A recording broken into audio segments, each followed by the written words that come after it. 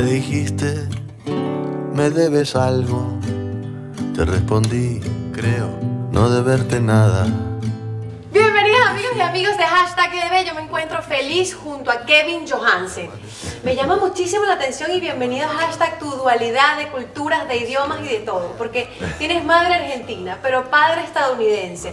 Entonces de allí vienen los temas en español Así y es. en inglés.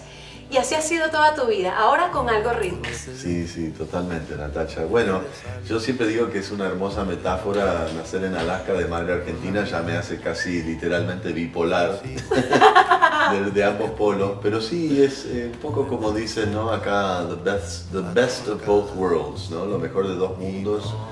En un punto, eh, sí, uno cuando tiene dos culturas, creo que hay mucha gente que la tiene, por ahí mi ejemplo es más extremo, pero no es más que eso, una madre latina y un padre gringo y bueno, es la que me tocó y me siento muy, muy afortunado, muy bendecido. Y ella fue un poco quien te inculca la música, porque si no me equivoco tocaba guitarra, un poco de folk. A, a full. A full era tu madre la melómana quien te inyecta esta cultura, pero, pero es el país de tu padre quien te lanza en la música porque es en Nueva York donde comienzas a hacer música, donde, Sí. donde debutaron los Ramones. Sí, sí, sí, exacto, el CBGBs, este, sí, sí, del, del gran Helly Crystal, que aparte era un tipo que, que parecía un leñador alto, viste, panza de cerveza, barba, intimidaba mucho a los músicos, no le daba cabida a cualquiera. Y el tipo se me acercó y me dijo, yo ni sabía quién era, no sabía de la leyenda del todo. Y me dice, I, I like what you do, me gusta lo que haces, tell me about yourself. Bueno, le conté de Alaska a la Argentina y bueno, the rest is history, ¿no? Como dicen, ¿no? o sea, el resto fue como empezar a foguearme de verdad, tener un lugar para grabar, una casa. musical. Era tu casa musical. Ese tú puedes decir que es como que tu big break, tu salto Sí. a... Sí, porque si bien fue indie, porque fue un big break, digamos, de más que de, no fue una exposición, sino al contrario, fue como un laboratorio donde hacerme músico. Yo tenía la famosa Tasca, un portaestudio que teníamos todos los de mi generación entre los fines de los 80, principios de los 90, que te manejabas con el cassette todavía Ok, ok. y te grababas el bajo y la guitarra y todo y grababas todo, la batería electrónica, Ok, ya aparecían las wow. máquinas, todo, obviamente. El hombre orquesta. Y sí, y aprender a producirse, ¿no? Las Tú primeras solo, todo herramientas. solo. Así que eso fue ya un paso más hacia un estudio más profesional y, y, este, y saber, este, bueno, cómo, cómo lidiar con, con el hecho de hacer sonar las cosas, ¿no? Qué bueno. Hablando de cuerpos completos de trabajo, algo ritmos, Sí. vamos a este, eh, tu noveno trabajo. Sí, tu noveno trabajo ya. También seguimos con esta misma tónica. Yo escucho tus canciones, venía en el auto escuchando tus canciones. Me parece como una tarde de asado. Me imagino un mate, pero me imagino en el auto también como recorriendo ciudades y también como hablando con gente de varios idiomas. Yo me hago unas historias.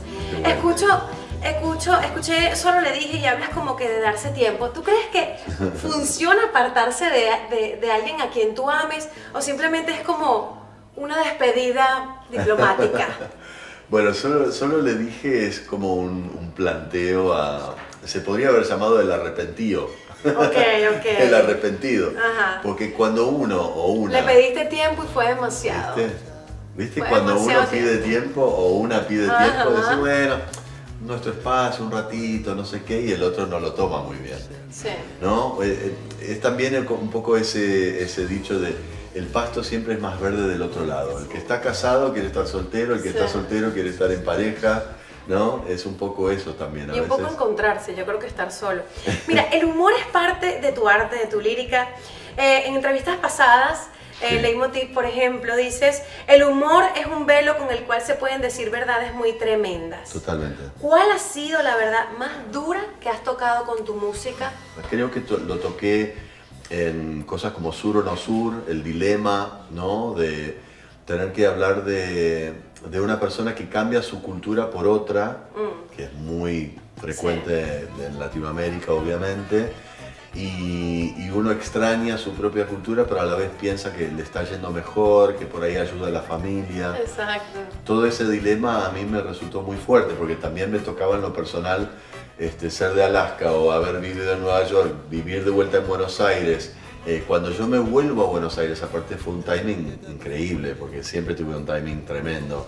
Vuelvo cuando las Torres Gemelas caen en Nueva York Wow. y a la 11 de vez la economía en Argentina se caía también. Sur no Sur también me marcó mucho, como un análisis social, ¿no? sociológico de, Sí. de lo que nos pasa. Y hablando de migración, escuché de repente y por ahí escucho unas mariposas azules de un orinoco.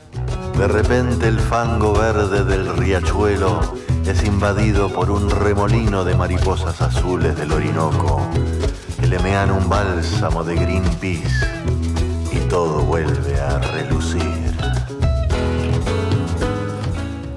Ese orinoco será de mi país, yo soy venezolana.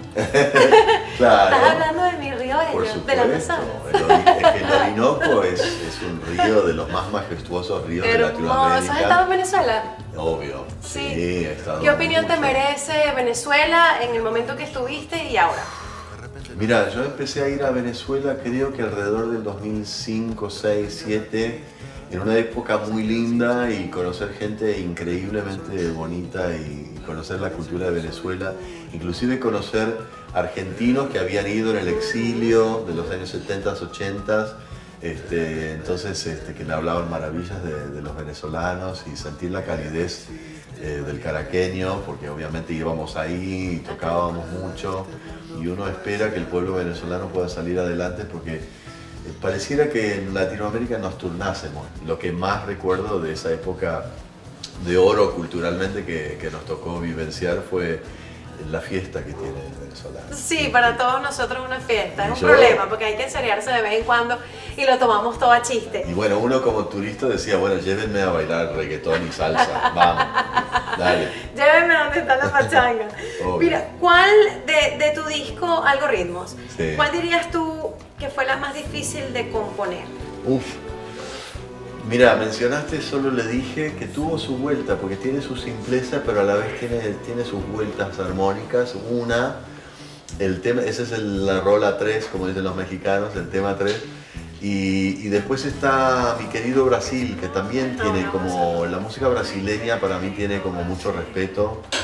Este, entonces este, tuve que reaprenderme la bossa nova y reaprenderme como los juegos armónicos que tiene la música brasileña, el samba brasileño, pero le encontré la vuelta y fue grabado ahí en, en Río de Janeiro con Casino, un gran productor que me, me dijo, está bien el tema, Este, tuve la aprobación, Aprobado, tuve la aprobado, aprobación Kevin. brasileña.